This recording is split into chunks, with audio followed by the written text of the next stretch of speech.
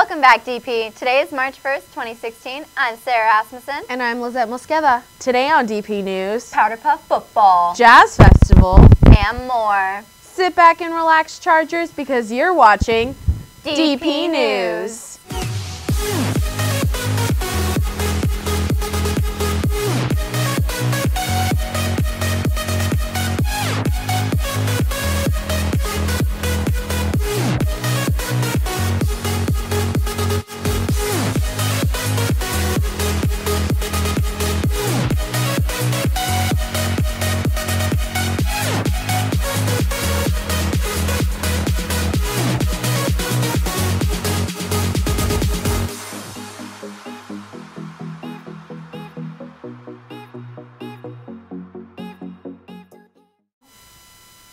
Just a reminder that the daily poll will take place right before DP News begins every day. Quick birthday shout out to Lisi Carranza. Your friend Alan Angel wishes you a sweet 16. Girls interested in Power, Powder Puff football should stop by S5 on Thursday, March 3rd for the club's first meeting. Now over to Peter for more info on what this club is all about. What's up, DP? I'm Peter Apple reporting for Powder Puff Football, and I'm here with. Amelia Meckelborg. Taya Nuschel. Brittany Tisdale. What is Powder Puff Football? Um, Powder Puff football is flag football for any girls interested in playing. Interesting. How can I join Powder Puff Football? Um, you can come at lunch in S5 on Thursday. Um, why should I join Powder Puff Football? Um, if you want to play football, this is a, your chance to play for girls, and it's just super fun. You get to be part of a team. Also, guys, if you want to be cheerleaders, you can do that. I know a lot of guys that would want to be a cheerleader. All right, now back over to our anchors. Sounds like a lot of fun. Maybe I'll tag along to the meeting this Thursday in S5. But if sports aren't really your thing, the Jazz Festival is this Saturday. The day-long festival will begin at 8 a.m. with school big bands and combos competing in divisions from the junior high school level all the way up to the university level.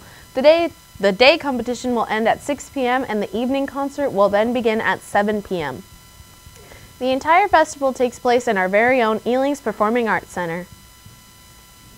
If you're a current sophomore or junior interested in taking the SBCC English 110-111 dual enrollment class during the 2016-2017 school year, you must take the SBCC English assessment on Friday, March 11th at 8 a.m. in the cafeteria.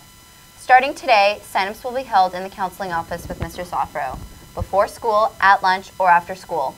In order to sign up for the assessment, students must have an SBCC student ID or K number.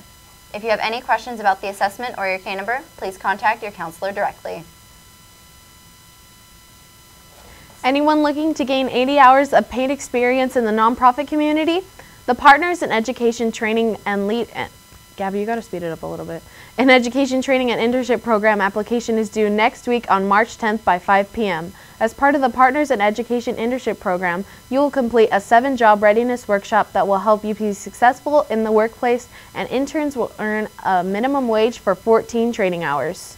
To get started, pick up an application from the Career Center, fill it out, and turn it into the Partners in Education by 5 p.m.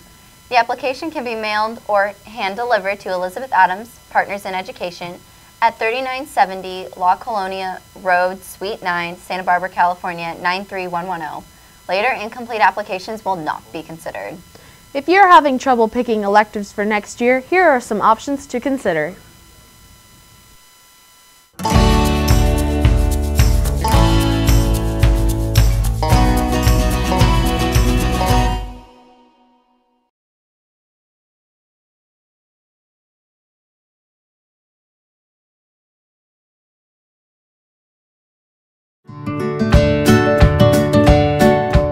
Name's Darren and I'm in second period ceramics. I've been in this class for about two years now and we've had a lot of fun experiences. We've gone on field trips and I've learned a lot of techniques as an artist.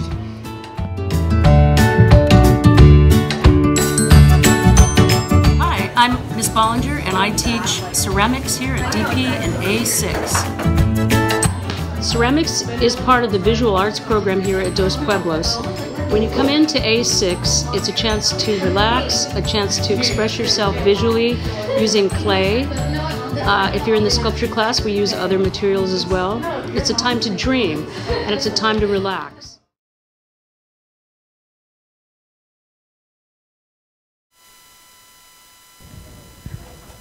Be sure to look into those classes next year, DP. They're lots of fun. Chargers, there are only three days left until we. Oh, okay.